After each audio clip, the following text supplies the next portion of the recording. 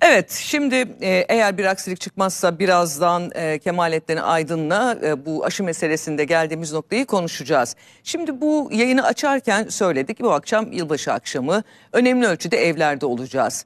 E, fakat işte uzmanlar ne deniyor? Hane halkıyla geçirin yani ekstra akrabayı konu komşuyu çağırmayın eve misafir olarak ve ev partilerini düzenlenmeyin düzenlemeyin kalabalıklar şeklinde. Kaç kişi yaşıyorsanız o kadar kişi yılbaşını kutlayın. Şimdi bu bir tavsiye. Baktığımız zaman İçişleri Bakanlığı genelgesine ve Cumhurbaşkanı Erdoğan'ın e, açıklamalarına da gündeme bir soru geldi dedik. O da nedir? Evdeki kutlamalar ve özellikle kalabalıklar şeklinde yapılıyorsa, bir ihbar olursa polis devreye girecek mi? Girebilir mi? Böyle bir hakkı var mı?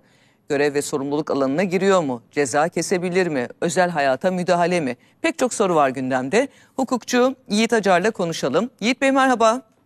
Merhabalar, iyi yayınlar Senem Hanım. Çok teşekkürler. Şimdi ben öncelikle İçişleri Bakanlığı Genelgesi'nin o hani ilgili bölüm diyebileceğimiz bölümünü bir okuyayım size. Çünkü buralara bakacağız tabii. değil mi oradaki ifadelere? Toplum e, tabii sağlığının... genelge önemli şu anda evet. uygulama açısından. Toplum sağlığının korunmasının her şeyden önce geldiği, milletimizin her ferdinin fedakarlık yaptığı ve bu fedakarlıklar sayesinde salgının seyrinde ciddi düşüşün sağlandığı bu süreçte salgınla mücadeleyi akamete uğratmamak adına kalabalıkların kontrolsüz şekilde bir araya gelmesine neden olacak yılbaşı partilerinin yapılmaması tercih değil, zorunluluktur. Bu amaçta yılbaşı akşamında başta kolluk kuvvetleri olmak üzere ilgili tüm kurum ve kuruluşlarca tam mesai yapılarak COVID-19 salgınıyla mücadelede alınan diğer önlemlerle birlikte konaklama tesisleri ve kiralık villa benzeri yerlerde dahil olmak üzere hiçbir mekanda yılbaşı partisi kutlama organizasyonu yapılmamasına yönelik gerekli planlama, koordinasyon ve denetim faaliyetleri eksiksiz şekilde yerine getirilecek. Şimdi burada hiçbir mekanda ifadesi, tercih hı hı. değil zorunluluk ifadesi. Hukuki karşılığı var mı? Bugün herhangi bir evde bir ihbar olsa dense ki şu evde kalabalık bir şekilde kutlama yapılıyor bir araya gelindi dense polis o eve baskın düzenleyebilir mi? Şimdi Senem Hanım tabii bu akşam için herkes e, bu soruyu merak ediyor ama aslında bu genel bir sorun. Yani e, bugünün dışında da e, bu tarz uygulamalar pratiğimizde yaşıyoruz. E, aslında genelgenin hukuk anlamında çok da bir e, önemi yok. Çünkü biz kanunlarla ve anayasayla yönetilen bir devletiz ama e, baktığımızda ne yazık ki son bir buçuk iki yıldır özellikle yani korona öncesinde de Türkiye'de anayasal hükümler askıya alınmış durumda. O yüzden hep e, idarenin açıkladığı genelgeleri önemsiyoruz. E, fakat yani hukukta bunun karşılığı ne yazık ki yok. Şu anlamda bizim Türk Ceza Kanunumuzda huzur ve sükuneti bozma suçu var e, TCK 123'te. Bu her an ve hepimizin başına gelebilir. Örneğin bir komşumuz çok yüksek sesle e, o gün sizin rahatsız olmanıza sebep olacak kendi evinde bir etkinlik yapıyor. Ya bir film izliyor ya bir parti veriyor. Bu tarz durumlarda evet kolluk kuvvetine siz de mağdur olmanız sebebiyle bildirebilirsiniz ve o durumda müdahale edilir. Ee, en azından bir tutanak tutulur. Ee, şikayet var hakkınızda diye.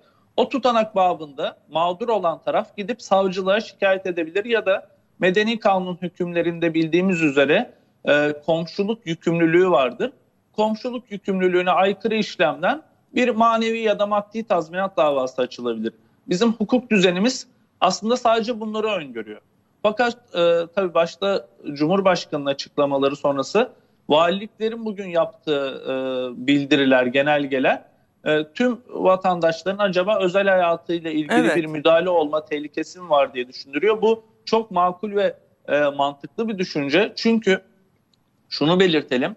Türkiye'de bir olağanüstü hal ilan edilmedikçe bu olağanüstü hal kapsamında ülke karantinası dediğimiz hepimizin evlerde oturma zorunluluğu başlamadıkça e, hiç kimse bir başkasının evine gitti diye cezalandırılamaz.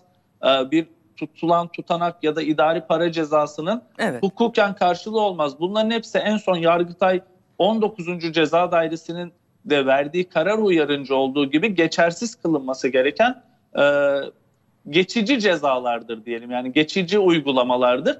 Bu sadece şu anda toplumun en azından hareketliliğini kısıtlamak için e, hükümet tarafından biraz da olsa korkutma politikası olarak görülmesi Hı. gereken bir Peki. gerçeklik. Şöyle biraz daha hani adım adım e, gidelim. Tabii. Aslında anlaşıldı. Fakat e, normalde zaten mevcut uygulamada diyelim ki bir gürültü şikayeti yapılabiliyor ve polis gelebiliyor. Ama orada polis e, ne yapıyorsunuz siz bu evde? Bu gürültünün kaynağı nedir diye eve girip arama yapamaz. Doğru mu? Yok kesinlikle tamam. yapamaz. Çünkü ev ve mesken aramaları için mahkeme kararı gereklidir. Mahkeme kararının alınamadığı durumda mutlaka savcılıktan e, alınan kararın 24 saat içinde hakimlik kararına dönüşmesi gerekir. Yani çok acil bir durum vardır. Savcı o eve girin demiştir.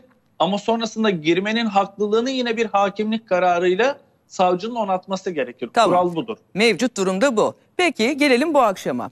Bu akşam diyelim ki böyle bir e, şey oldu. E, yine eve giremez ve elinde arama belgesi olması lazım. Bunu bir kere söyleyelim. Hı hı. Ama ev ahalisinden fazla birileri var diye. Bu evde hı hı. normalde 5 kişi yaşıyor ama şu anda 8 kişi var. 25 kişi var. Ceza yazabilir mi? Şöyle olur. Az önce dediğimiz gibi yazacağı ceza e, idari para cezası niteliğinde olur. E, o idari para cezaları da işte vergi tahakkuku biçimde ödenmesi gerekir ama e, muhatabı o cezaya muhatap olan mutlaka buna itiraz eder. Çünkü anayasamızda bir seyahat özgürlüğümüz var belirli. Yaşam hakkımız var istediğimiz yerde e, ikame edebiliriz bunu. Bunu genelgelerle sınırlamak e, hukuk düzenimiz içinde e, şu anda kabul edilebilir değil. Eğer bakın idare yani iktidar bunun olmamasını istiyorsa şunu yapmalıydı. Yine Türk Ceza Kanunu 195. madde karantina ilan edildiğinde herkesin yaşadığı ikamette kalma zorunluluğunu gösteriyor. Yani ya o hali ilan edeceksiniz ya karantina ilan edeceksiniz. Hmm. Aksi durumda komşunuza gittiniz, arkadaşınıza gittiniz söylemlerinin sadece e, lafta kalması söz konusu olur. Hukuk düzeninde bir karşılığı olmaz. Ama tabii e, hani bu söylediklerimden şu da çıkmasın. Herkes istediği gibi e, yüksek sesle parti verebilir, organizasyon değil, yapabilir. Bu anlamada gelmiyor. Tabii ki mutlaka. değil. Bir de şöyle genel olarak baktığımızda belki şuna da vurgu yapmakta fayda var. Şimdi kamusal alanlar dışında e, işte evler mesela. Şimdi maskede, sosyal mesafede, hijyende hep aslında değil mi tavsiye, öneri Tabii, tavsiye, niteliğinde. Öneri Dolayısıyla yasal olarak bizi herhangi bir şekilde bağlayıcı bir tarafı yok. O riski biz göze alıyor muyuz, almıyor muyuz? Dolayısıyla bu tamamen bizim inisiyatifimize bağlı. Yani evet uzmanlar diyor ki evde de kalabalıklar oluşturmayın, ev içi bulaşmalar çok fazla.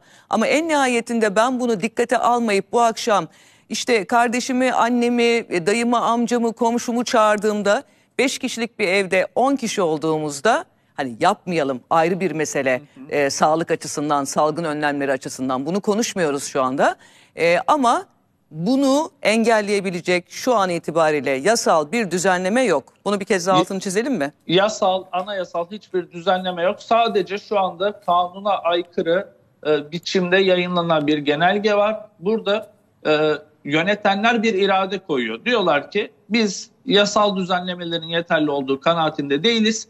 Fikrimiz de bu. Tamam. Bunu da sizin sağlığınız için yapıyoruz. Ama şunu da altını çizelim. Toplum bunları görüyor. Yaz aylarında da koronavirüs ülkemizde hala yüksek düzeydeydi. Vaka sayılarının açıklanması ortadan kaldırıldı. Birçok etkinlik yapıldı. Siyasi partilerin e, kongreleri yapıldı. Ayasofya açılışında 350 bin insan bir araya geldi. Bu tarz durumlarda e, idare e, kemerleri sık e, kemeri serbest bıraktı. Şimdi sıkmak istediğinde bunu kabul etmeyen vatandaşlarımız da hukuken haklıdır. Tamam. Son olarak diyelim ki böyle bir cezayla karşı karşıya kaldık. Bir para cezası kesildi. Gelin de evimize. Burada fazla kişisiniz dendi. Ne yapmamız lazım? Ee, suç ceza mahkemelerine itiraz yolu açık. Ceza kesilen yer, yer yetkili suç ceza mahkemesi. Olası bir olumsuz kararda e, idare mahkemesi e, yolu açık ama ee, bu yeni çıkan Yargıtay 19. Ceza Dairesi Yargıtay'ın da direkt başvurulabilmesini imkan kılan bir yol olduğunu gösterdi. Ee, ama yine de para cezası e, kesildiğinde 7 gün içinde suç ceza mahkemesine vatandaşlarımızın başvurması ve e, internetten de bulabilirler o kararı. Evet. Özellikle 19. Ceza Dairesi kararına ekte koymalarını tavsiye ederim.